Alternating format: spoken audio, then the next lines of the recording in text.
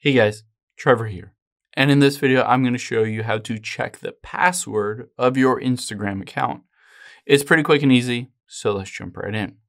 Now, there are a number of different steps that you can take. The first one is just to open up the Instagram app here and say you're logged in.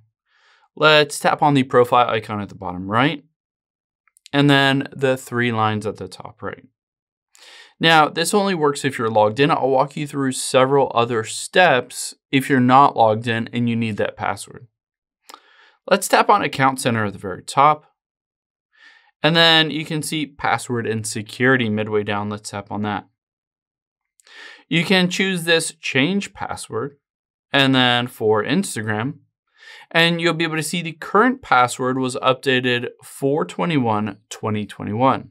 So I can tap on that and you'll see the password here autofills. So I can just tap on it and it will autofill exactly what it is. It also tells me that it was changed April 21st, 2021, so just about three years ago, and this might jog your memory exactly what it might be. Now, if you don't see that, or maybe you're lo not logged in, you can always just head into the settings here on your phone. Oh, let me go back. And then we'll scroll down and tap on passwords. And then we're just going to search for Instagram and tap on Instagram. You'll be able to see the username here in addition to the password. All you need to do is tap on it to reveal what that password is. And of course, you can copy it, use it wherever if you wanted to log in on another device. Now, this is checking passwords that are in your iCloud. If you have an Android phone instead of an iPhone, or you just use Google Chrome, that is another place to check as well. So let's open up Chrome here, and let me get out of there, and tap on the three dots at the bottom right.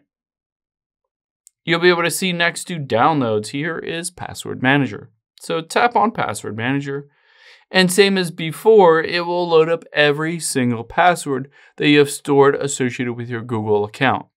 So from here, all you need to do is find Instagram on this list and then tap on it. And again, it will show you what that password is.